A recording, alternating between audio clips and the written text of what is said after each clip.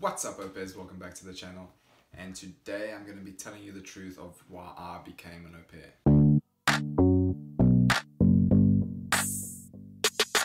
So, I got my degree, I got an IT degree, and I didn't feel as though I was ready to go into the corporate world just yet to be honest, I couldn't see myself sitting behind a desk from like 9 a.m. to 5 p.m. like a normal job. I couldn't really see myself in that setting. And so I was very lost as to what I wanted to do with my life and where I wanted my life to lead, like career wise. And so I did like part time jobs here and there, bartending and working at music festivals and stuff like that. Um, but there was always that pressure in the back of my mind that that I was putting on myself that okay you need to start your career and get your get a job start your career. And because I mean that that's the way society makes it out to be. It's like you go to high school you go to university then you graduate then you get a job and then you live the rest of your life. So the whole au pairing thing many au pairs they come out of high school and then they use this as their gap year.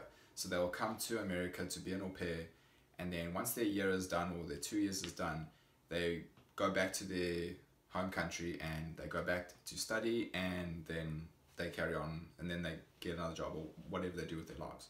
But they, they come here as their gap year, and then they go back to study in their home country. With me though, I kind of did it the other way around. So I went from high school to university, then coming here as like a gap year, travel year, whatever you want to call it. And so that's why I'm also a little bit of an older au pair. So I'm 26 next month. And so I'm also on like the cusp of like the limit, the or like the age range to be an au pair, which is 18 to 26. So with me already being here, I can still be, I can do the two years. Um, and so anyways, back to my story. So I felt very lost. I didn't know where I wanted my life to lead, like career wise. And so the idea of being an au pair came to me because my cousin was actually an au pair in America. He did it a few years prior. I can't remember how long ago. School bus. So I knew of the whole au pair program because of my cousin, as he was an au pair years before me. Um, and so I started looking into it more because I've always been surrounded by children and I do have a love for kids. So it kind of did make sense because also it would be, I would be au pairing in America and it was always a dream of mine to come here and to just experience American, experience the people and the culture and all of that. So that was always a big dream of mine. So I saw the opportunity to realize this dream and it just kind of just worked out. Like in my mind, it seemed like the right move for me to make. So I needed to become more independent. I needed to get out of my comfort zone and actually become an adult. And so I felt that the only way to do that was for me to move away from my comfort zone, which is my family and friends. So I kind of did it a little bit drastically by moving like halfway across the world. But I don't regret coming here whatsoever.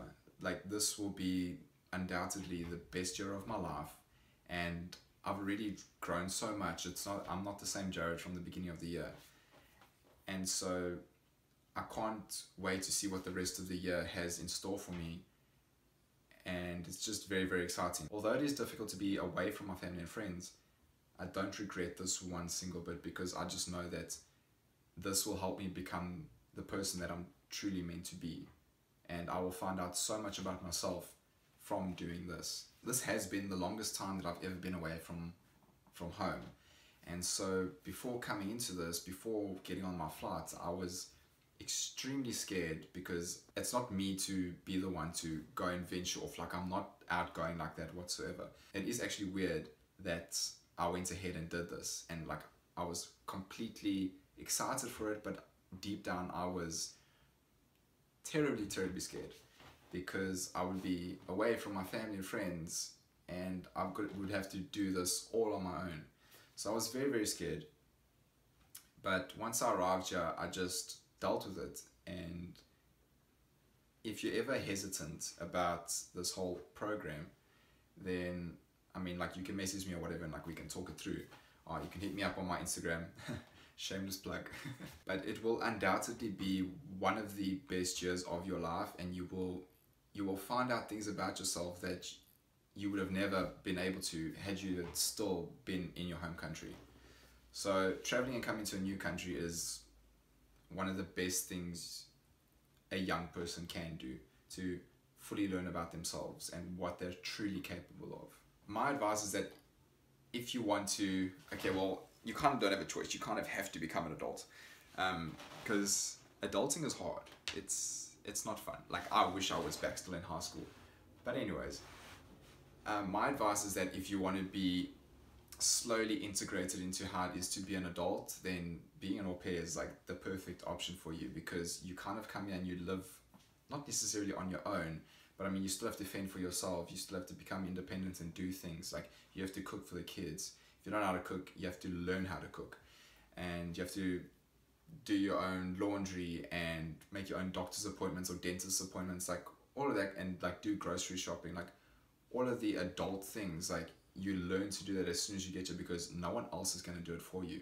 Another reason is that I kind of felt like I wanted a clean slate and I've, I'd, I'd felt that way for quite a long time and this was like the perfect option because I, I knew no one here whatsoever I mean I'd spoken to my host family and my host kids but I didn't know anyone here which is why it was perfect for me to start my clean slate off here in America. When you move here, it's kind of like you're creating a whole new life. I mean, you're gonna make new friends, you're gonna be in a new family, you're gonna find out things about yourself that you never knew were like in you. Like, I mean, your personality will change a little bit. Um, you'll become more confident, and um, a lot of you will become better English speakers if you don't speak English from the get go. So, I've always been pretty much an introvert, but it's weird because I do have like extroverted tendencies. Like, I do like to be in social situ, like I do like to be in social situations and whatnot. So, I think so I think the correct term is like an, an introverted extrovert or extroverted introvert or whatever it's called. But yeah, I'm one of those. And so it was like ideal for me to come here because then it would force me to get out of my comfort zone and stop being such an introvert. And it was the only way I was really going to grow. So I was kind of like using this as like to force myself to grow and get out of that introverted state of mind kind of a thing.